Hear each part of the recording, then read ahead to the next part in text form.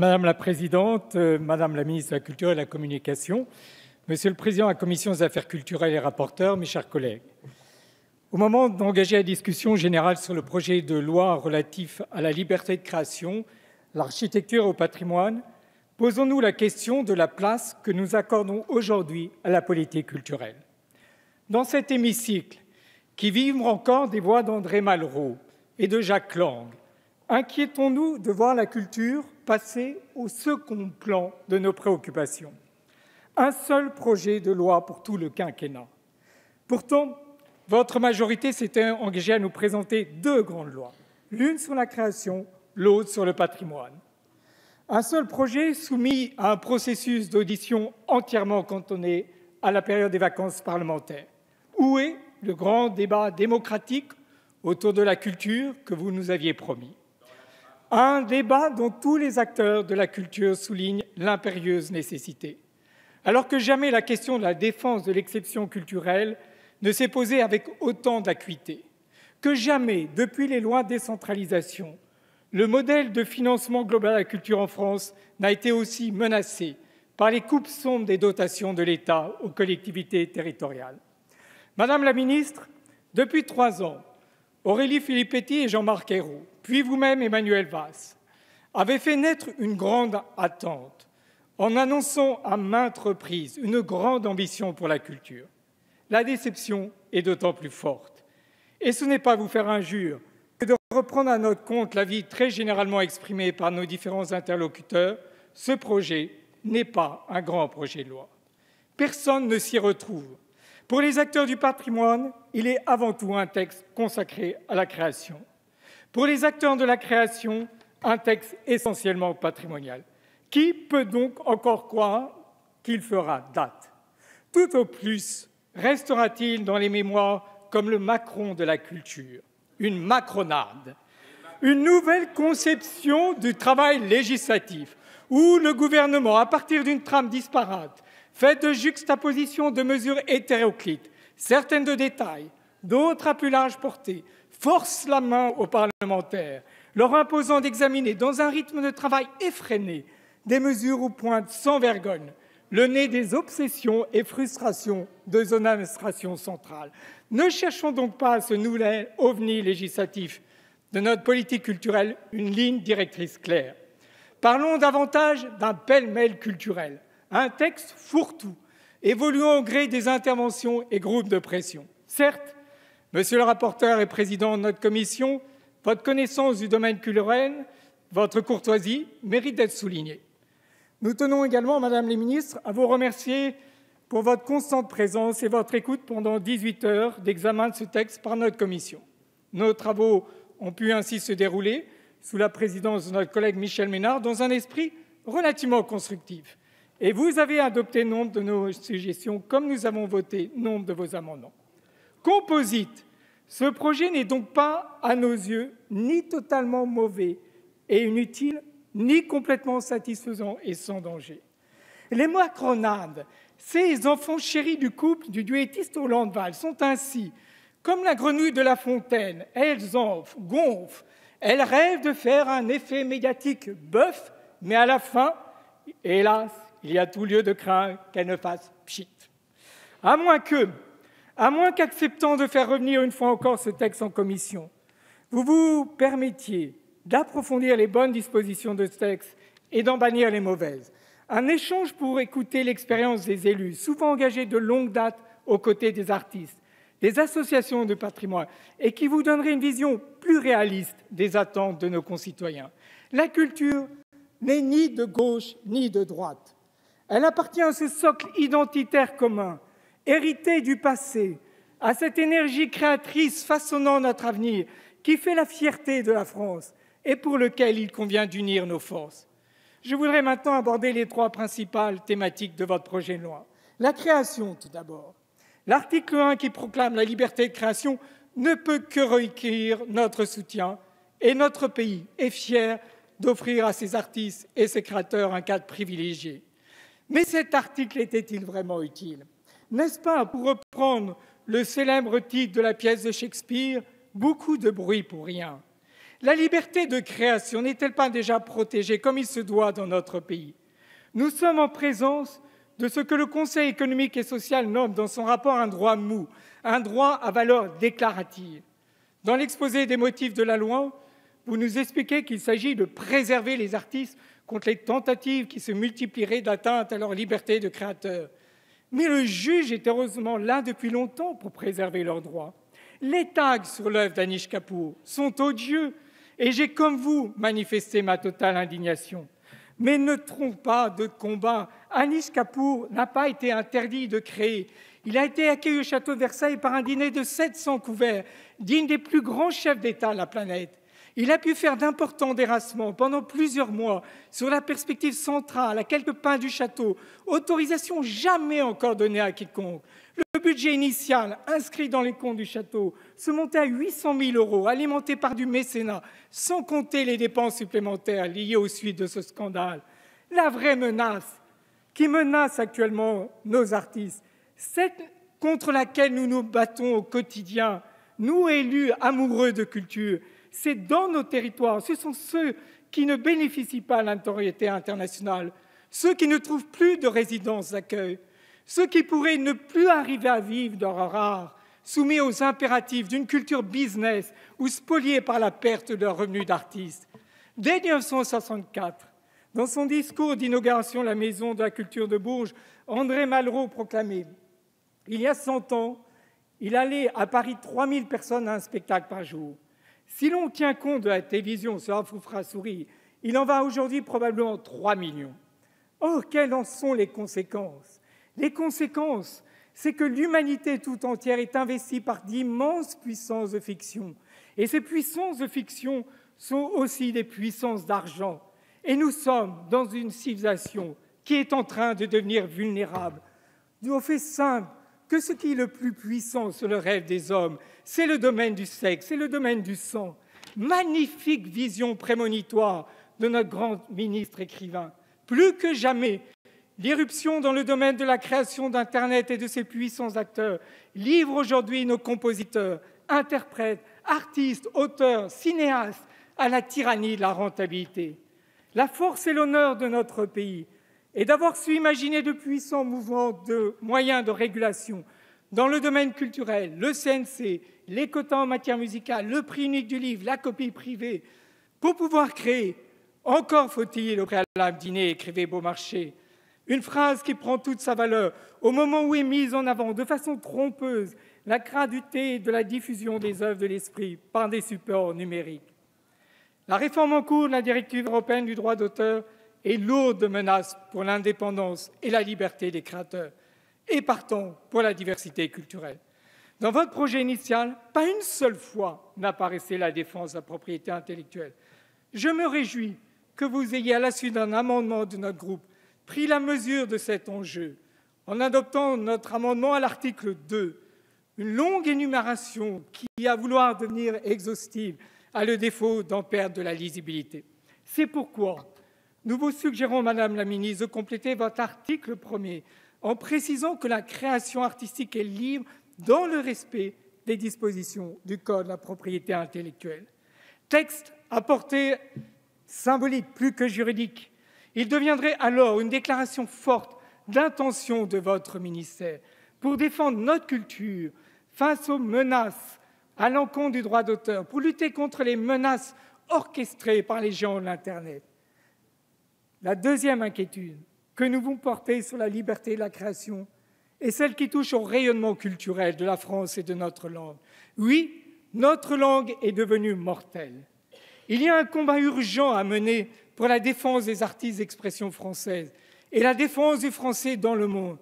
Je suis heureux que vous ayez accepté un amendement de l'opposition en intégrant à l'article 2 le soutien à la création d'œuvres d'expression originale française.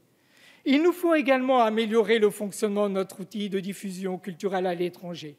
Il nous faut réfléchir à un rapprochement entre l'Institut français et le réseau des alliances françaises. À l'heure des politiques marquées par la rationalisation budgétaire, du renforcement des synergies, il est temps que notre pays se dote d'un outil de promotion culturelle moins dispersé, plus efficace. Aider les artistes, aider la création, c'est aussi défendre l'accès à la culture, aux pratiques culturelles. Le texte du gouvernement ne prévoyait rien sur les enseignements artistiques. Et vous savez, Madame la Ministre, mon total engagement sur cette question et sur la question de la défense du financement des conservatoires. Votre gouvernement, à juste titre, défend le principe de la démocratie, démocratisation culturelle, et en a fait une priorité. Il était dès lors paradoxal que soit supprimée dans un loi de finances 2015, pour la première fois, la ligne budgétaire par laquelle l'État contribue au financement des conservatoires. Suite à notre mobilisation et celle des professionnels du secteur, vous avez, et je salue votre décision, admis qu'il s'agissait d'une erreur. À notre instigation, au cours de l'examen en commission, vous avez réaffirmé le rôle de l'État dans le cofinancement de ces structures, sans toutefois en préciser le montant. Et je vous demanderai ici de bien vouloir enfin le faire. J'insiste également sur une autre évidence. Il aurait été beaucoup plus efficace de réaffirmer le principe énoncé dans la loi de décentralisation de 2004, qui indiquait une claire répartition des responsabilités, à savoir le transfert du financement du troisième cycle des conservatoires régions à l'identique de ce qui se pratique en matière de formation professionnelle. Ne pas vouloir clarifier ce projet, c'est prendre un risque évident. L'enseignement des arts est un lourd investissement pour les collectivités qui préfèrent parfois, comme l'État, financer des actions de type événementiel plus valorisantes pour sur le plan médiatique. Les articles 5, 6 et 7 sont consacrés à la filière musicale. Votre suggestion consiste à créer un médiateur de la musique. Là encore, nous craignons que cette nouveauté soit plus motivée par la volonté de montrer que vous agissez plutôt que de répondre à une demande réelle du secteur tel que le projet de loi prévoit ce médiateur. Celui-ci a une très large compétence et peut être saisi par la quasi-totalité des acteurs du secteur. Il s'agit donc de l'installation d'une véritable autorité administrative indépendante au très large pouvoir d'investigation et de recommandation, ce qui pose immédiatement la question des moyens qui lui seront alloués. Nous préférons donc à ce système la création d'un observatoire réclamée par les professionnels et l'incitation par votre ministère à poursuivre des démarches de type accord professionnel. Au cours des débats en commission, a été également intégré d'une façon un peu surprise les pratiques amateurs. On peut regretter que ce sujet essentiel se trouve intégré au détour d'un article déposé en commission. Le rôle des pratiques amateurs est fondamental, mais rien ne justifiait une telle précipitation à légiférer sur un domaine aussi important et sensible. À ouvrir la boîte de Pandore, vous risquez fort de déstabiliser un équilibre fragile entre professionnels et amateurs. Le second grand sujet, qui aurait dû faire l'objet d'une loi à lui tout seul, c'est le patrimoine. L'accumulation de mesures, parfois mesurettes, parfois changements radicaux, ne porte pas la marque d'une vision globale. Or, ce qu'attendaient les associations, les amis du patrimoine, c'est une déclaration d'amour l'affirmation forte que le patrimoine n'est pas seulement une dépense, mais un secteur économique à part entière, permettant notamment par le développement touristique la promotion de l'ensemble du territoire français. Au-delà de ce premier regret, le très long article 24 consacré à la cité historique inquiète les acteurs du secteur, qui se demandent quelle est la raison d'être de cette réforme? On leur a dit que celle-ci était devenue indispensable en raison de l'obligation de transformation des ZPPUP en AVAP d'ici le 14 juillet 2016. Cet argument est dérisoire. Il était autrement plus facile, comme je vous l'ai proposé en commission et comme je vous le proposerai à nouveau lors de la séance, de maintenir ce dispositif qui a fait toutes ses preuves. Quel but poursuivez-vous à travers cette réforme? Aujourd'hui, existent trois secteurs de protection. Les secteurs sauvegardés, régis par la loi 1962, les zones de protection du patrimoine architectural urbain et paysager, les célèbres ZPPUP, créés en 1979, et les aires de mise en valeur de l'architecture et du patrimoine, les ABAP, créés en 2010. Les secteurs sauvegardés, au nombre d'une centaine, constituent la protection maximale. Vous nous dites qu'ils ne fonctionnent pas bien et que la preuve en est donnée car ils sont au nombre de 100 alors qu'André Malraux, leur auteur, en avait prévu 400. C'est l'argument que vous nous avez redonné vous-même en commission. Mais en réalité, votre réponse masque le fait que l'on vit sur le terrain. Si les secteurs sauvegardés sont restés en nombre d'une centaine, c'est parce qu'ils ont été complétés par les ZPPUP, qui sont au nombre de 600 et qui répondent parfaitement à la préservation d'éléments architecturaux remarquables, sans toutefois exiger le niveau de protection très sophistiqué des secteurs sauvegardés. La pratique a donc amélioré le dispositif prévu par la loi initiale de 1962. Vos services en sont parfaitement conscients, puisqu'ils proposent le maintien du régime du secteur sauvegardé sous le chapeau désormais unique de cité historique. La faille de votre projet provient de la suppression des aides PPP et des AVAP. Vous fixez en effet un délai de 10 ans pour leur disparition. Certes, vous nous assurez que la protection attrayante à ces secteurs sera entièrement préservée grâce à leur intégration dans les PLU. Pendant toute la préparation de la loi, vous nous avez ainsi habitués à l'expression de PLU patrimoniaux, jusqu'à ce coup de théâtre où en commission, notre rapporteur nous a indiqué que ce nouveau vocable n'était pas compatible avec le Code de l'urbanisme et qu'en conséquence, votre projet de loi n'y ferait pas explicitement référence. Avouez qu'il est difficile de faire réformes plus confuses et incertaines. Le monde du patrimoine est donc inquiet, car ils sont une grande fébrilité dans vos services, qui peinent eux-mêmes à interpréter votre volonté. Prétendre que les ZPPUP, qui sont des documents aujourd'hui indépendants des PLU, puissent être fondés dans les PLU relève soit d'une méconnaissance du droit de l'urbanisme, soit d'un pur mensonge.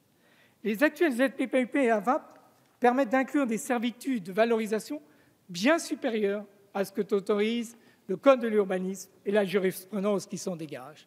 Prenons un seul exemple. Le Code de l'urbanisme interdit d'avoir des prescriptions sur des matériaux, disposition pourtant essentielle des ZPPUP. Dire que les protections sont de même nature dans la cité historique est donc faux. Et votre projet de loi va créer la plus grande confusion et instabilité juridique. Les maires, soucieux de maintenir les actuelles protections du patrimoine, incluront des servitudes dans leur PLU qui dépasseront le cadre normal du Code de l'urbanisme et qui, ce faisant, auront toutes les chances de faire l'objet de recours puis d'annulation. Si ce projet de loi est adopté en l'état, nous aurions donc l'assurance d'avoir pendant plusieurs années une fragilisation extrême des protections actuelles du patrimoine. Un risque d'autant plus fort que la loi Allure a prévu le transfert des compétences de l'urbanisme aux intercommunalités. Or, les maires ont une connaissance fine de leur territoire. Ils adhèrent très généralement à la défense de leur patrimoine, qu'il soit exceptionnel ou même simplement anecdotique. Quand la compétence est transférée à un niveau intercommunal, ce qui devient désormais la règle, la connaissance du patrimoine de proximité s'éloigne. L'attachement affectif du maire vis-à-vis d'une histoire locale peut se trouver battu en brèche par une logique de développement économique ou de construction, voire ne négligeons pas, hélas, ce facteur par les enjeux partisans. Pourquoi également vouloir transférer au maire la responsabilité la protection patrimoniale à travers les PLU, tout en enseignant par un artifice complexe de préserver la capacité de l'État à dire non? C'est en fait un mauvais cadeau fait aux élus. Et les quelques maires parlementaires ayant participé au débat en commission ont tous dit, quel que soit leur bord politique, qu'il était important que la loi les protège contre les multiples pressions qui peuvent s'exercer sur eux. Face à ces craintes, la réponse que vous nous apportez a été de soumettre à l'approbation de la Commission régionale du patrimoine et de l'architecture le règlement du PLU des cités historiques. Mais nos expériences élus nous montrent que ce n'est pas le bon véhicule. Une ville comme Versailles, qui a un secteur sauvegardé important, a l'habitude d'ajuster celui-ci par des modifications régulières, concertées avec l'ABF. Introduire l'avis de la Commission serait un frein à ces ajustements. On arrive donc à un paradoxe. La loi non seulement fragilise le régime de protection actuel, mais crée en plus des complexités. Il a sans doute manqué un travail interministériel entre la culture, le ministère du Logement, pour que cette loi soit véritablement efficace au profit de tous. Le nom même de cité historique suscite au sein même de votre majorité les plus grandes réticences, car il n'englobe pas les sites naturels. Et l'on voit combien aujourd'hui la préservation des environnements est devenue une préoccupation majeure. Pour toutes ces raisons, il semble indispensable à notre groupe que vous en reveniez, Madame la Ministre, à plus de pragmatisme. La cité historique suscite plus de questions qu'elle n'en résout. On ne réforme pas par oukase une législation longuement élaborée. Et la frénésie qu'il y a toujours à vouloir réformer, comme s'il fallait absolument que chaque ministre donne son nom à une loi, porte atteinte à ce qui est la nature même de la protection du patrimoine, le sens de la durée. Pour terminer sur cette question du patrimoine, interrogeons-nous un instant sur ce qui aurait pu être fait de façon plus utile et pertinente. En premier lieu, nous aurions souhaité une loi de programmation. Tout ce grand barouf autour de la cité historique est là pour cacher une réalité. La baisse très significative des crédits du patrimoine entre 2013 et 2014. Baisse qui ne sera pas compensée en 2016, malgré les annonces réitérées du Premier ministre et de vous-même d'un budget de la culture sanctuarisé.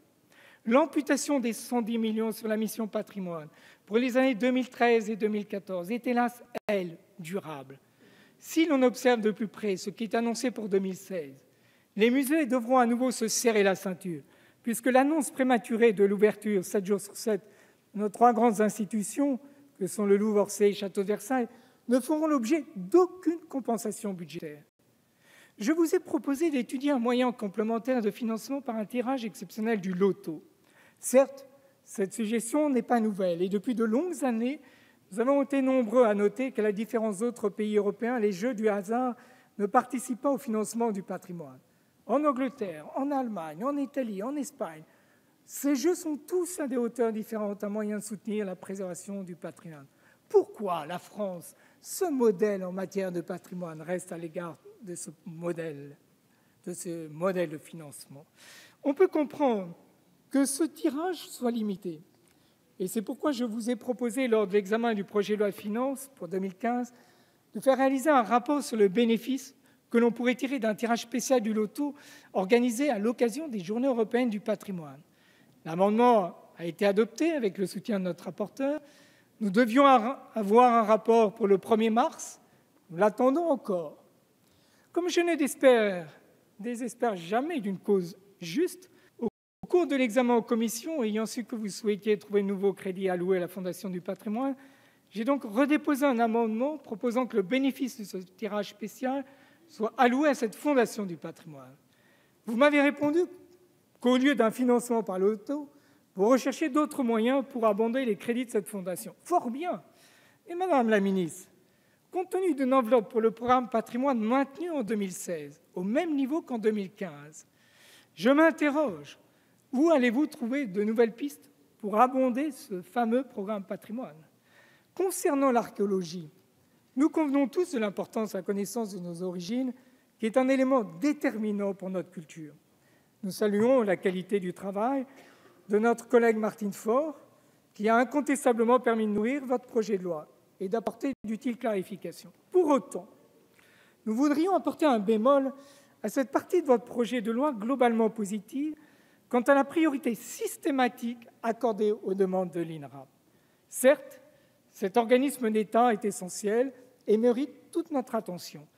Mais il ne faut pas oublier que l'ouverture à la concurrence a été, même pour lui, un aiguillon très utile. Nous sommes ainsi très réservés sur l'idée d'étendre son monopole sur les fouilles sous-marines, de même que sur plusieurs dispositions qui limiteront la participation des services des collectivités territoriales ou des opérateurs privés à des appels d'offres. De même, la transmission de toutes les offres aux services régionaux ne paraît pas judicieuse au regard de la capacité des services de l'État à traiter celle-ci. Durant les débats en commission, j'ai pointé ce souci. L'engagement actuel des services régionaux d'architecture est patent.